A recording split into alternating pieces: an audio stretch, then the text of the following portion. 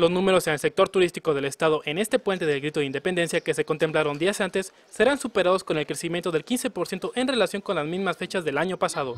El secretario de Turismo Fernando Olivera Rocha agregó que estos crecimientos se volvieron una constante en los primeros ocho meses del año.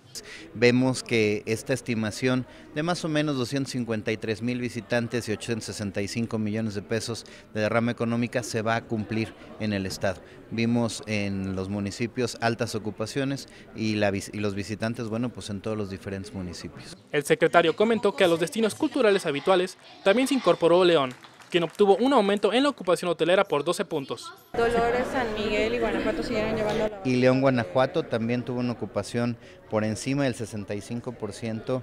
Eh, todavía no tengo el dato final, pero los preliminares que nos está enviando la Asociación de Hoteles de León, Guanajuato también nos comparten un crecimiento de más de 12 puntos en el puente que la ocupación promedio de lo que llevamos en el año, que supera los 54 puntos porcentuales de ocupación.